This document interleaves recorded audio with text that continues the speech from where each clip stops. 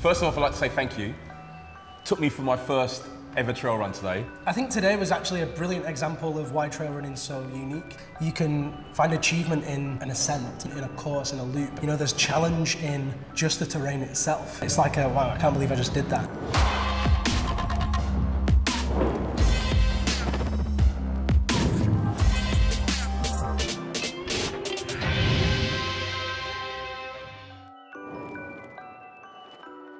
How is what I'm going to learn on the trail going to help me as a city runner?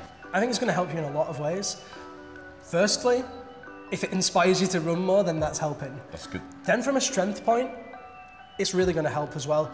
Moving over the different terrain is good for proprioception. You know, your body becomes much more used to adapting quickly to things. Mm-hmm. So you get stronger muscles that are around the joints. Yep. So, you know, around the, the top of the knee and the bottom of the knee. the Same with the ankles, mm-hmm. the calf, the quads, the hamstrings. They're all going to get way stronger. Hills, the glutes, man.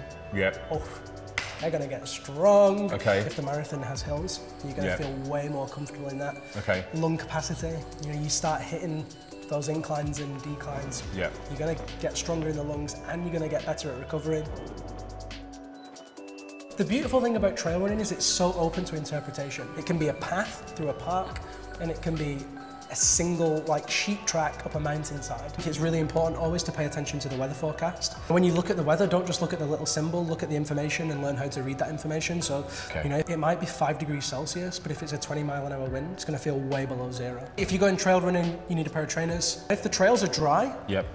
You can run in the shoes that you would run in on the road. When the trails start to become wetter, then you need some shoes that are going to perform a little bit better in the mud. Okay. And something with an aggressive tread on it. That gives you stability, it gives you the ability to propel yourself, um, it also gives you the ability to slow down.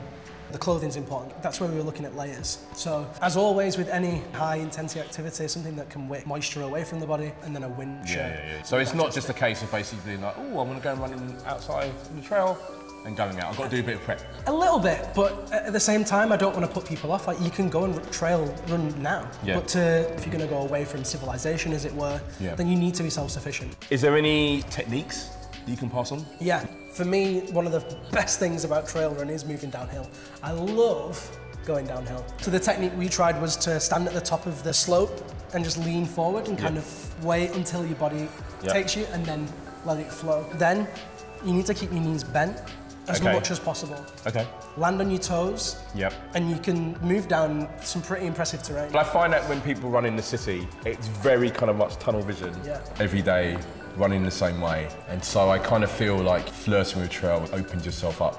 I definitely feel inspired by what I saw. Yeah, the I mean, sun off the water, Yeah. the colours were so intense, and you can have a different experience every time. it's ever changing. Always.